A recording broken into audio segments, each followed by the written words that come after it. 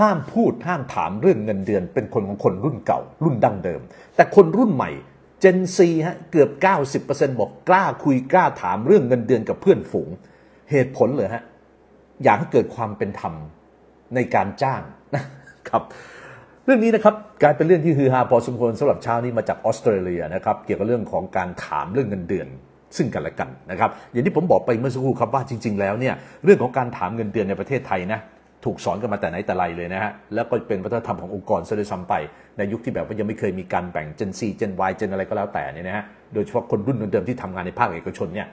เวลาเงินเดือนออกเขาจะไม่โชว์สลิปกันนะฮะ หรือว่าเวลาเงินเดือนออกก็จะไม่ถามกันนะครับ หรือว่าเวลาได้ปรับเงินเดือนอะไรก็แล้วแต่เขาก็จะไม่บอกกันนะครับว่าตกลงนี่คุณได้เท่าไหร่ ถูกไหมฮะ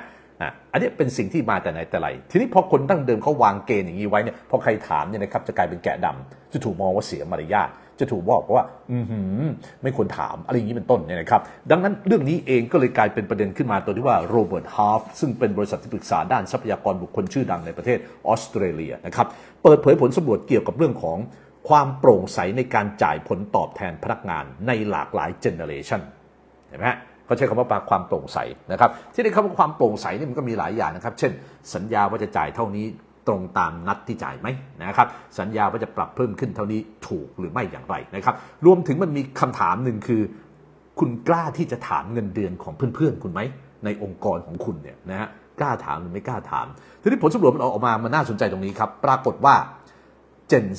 4 Gen 4ที่อยู่ในองค์กรอยู่ในภาคเอกชนเนี่ยนะครับในออสเตรเลียที่เป็นผลสำรวจนี้นะ อายุ 18ถึง25 ปีเนี่ยนะฮะมีถึง 86% Gen 4ตอบเลยว่ากล้า กล้าพูดกล้าถามเงินเดือนของเพื่อนๆ หรือเจ้านายแน่นอน โอ้โหเด็กรุ่นใหม่เขาคิดอย่างนี้นะครับ ต่อมาครับรุ่นไหนที่ลองลงมาที่กล้าถามเรื่องเงินเดือนถูกไหมฮะ Gen Y Gen Y หรือ Millennium หรือ The Bag นะครับกล้าถามเรื่องเงินเดือนมีถึง 59%นะครับสิ่งที่น่าสนใจก็คือว่าพอไปถาม Gen X กับ Baby Boomer ที่ยังทำงานอยู่นะฮะ ปรากฏว่า Gen X เนี่ยคุณกล้าจะถามเงินเดือนเขาไหมเหลือแค่ 40%ที่กล้าถาม Baby Boomer คุณกล้าที่จะถามเขาไหมเหลือแค่ 41%ตรงนี้เขาเลยพอที่จะสรุปในเบื้องต้นได้นะครับเออเดี๋ยวนี้คนรุ่นใหม่เนี่ยนะฮะเขากล้ามากเขาก็กล้าพร้อมที่จะถามเรื่องเงินเดือน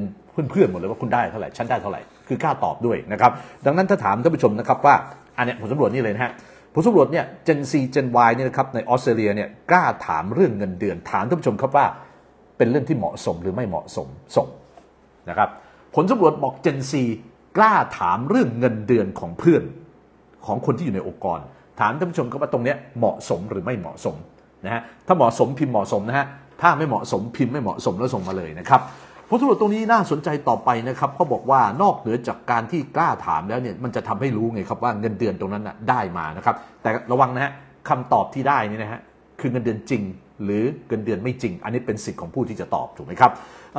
นางรีเบคก้าไพค์นะครับเป็นผู้เชี่ยวชาญด้านการเงินเนี่ยนะครับเขาพูดถึงว่าตอนนี้มันกลายเป็นแนวโน้มใหม่แล้วแล้วดูมันจะเปลี่ยนแปลงไปในอนาคตด้วยเพราะว่าคนรุ่นรุ่นเดิมๆรุ่นเก่า ที่เขาบอกว่าการถามเงินเดือนเป็นสิ่งต้องห้ามเนี่ยก็ถูกเกษียณออกไปถูกไหมฮะออกจากงานไปออกจากองค์กรไป เดี๋ยวนี้มันก็จะมีแต่คนรุ่นใหม่ๆ ที่ขึ้นมาในองค์กรใหม่ๆ ซึ่งก็กลายเป็นคนที่กล้าถามกล้าแสดงความคิดเห็นกล้าต่าง โดยเฉพาะ Gen 4นะครับริเบก้าไพบอกเลยนะครับว่าตอนนี้มันเป็นแนวโน้มใหม่ละมันมันเป็นเทรนด์ใหม่นะครับในการถามแล้วก็แลกเปลี่ยนข้อมูลเรื่องของเงินเดือนผลตอบแทน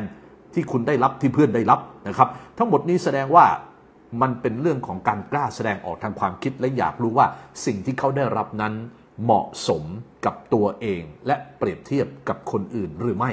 นี่ ปมมันอยู่ตรงนี้นะฮะสิ่งที่เขาบอกว่าเวลาเขาถามเขาไม่ได้แค่ถามเรื่องเงินเดือนอย่างเดียวเนี่ยนะฮะเขาถามเรื่องประสบการณ์ทำงานเป็นยังไง การเงินส่วนตัวของคุณเป็นยังไง เงินเดือนที่คุณได้รับเป็นยังไง โบนัสที่คุณได้รับด้วยเป็นยังไงนะครับหรือบางทีมี OT หรือว่าผลตอบแทนรวมๆทั้งหมดเนี่ยนะคุณได้เท่าไหร่เป็นยังไงนะครับพอไปถามเหตุผลว่าเด็ก Gen Z ทำไมถึงกล้าถามล่ะครับนะคำตอบก็คือว่าเขาต้องการอยากรู้ เพื่อที่จะได้มายืนยันกับความคิดความรู้สึกหรือข้อมูลที่ตัวเขามีเนี่ยครับว่าตกลงแล้วเนี่ยมันจะมีการชดเชยอย่างยุติธรรมให้กับเขาไหมทันทีที่เขารู้ตัวเลขของเงินเดือนนะครับเนี่ยนะครับโอ้เดี๋ยวนี้เจนซีของออสเตรเลียเนี่ยมาแรงขนาดนี้เลยนะครับมันถึงถามท่านผู้ชมไปเมื่อสักครู่ครับว่า ผลสำรวจบอกว่าเจนซีนะฮะกล้าถามเรื่องเงินเดือนมากที่สุดกว่าทุกเจเนเรชันการถามเรื่องเงินเดือนซึ่งกันและกันถามท่านผู้ชมครับว่าเนี่ยนะครับเหมาะสมหรือไม่เหมาะสม ถ้าเหมาะสมพิมพ์เหมาะสมนะฮะถ้าไม่เหมาะสมพิมพ์ไม่เหมาะสมแล้วส่งมาเลยนะครับ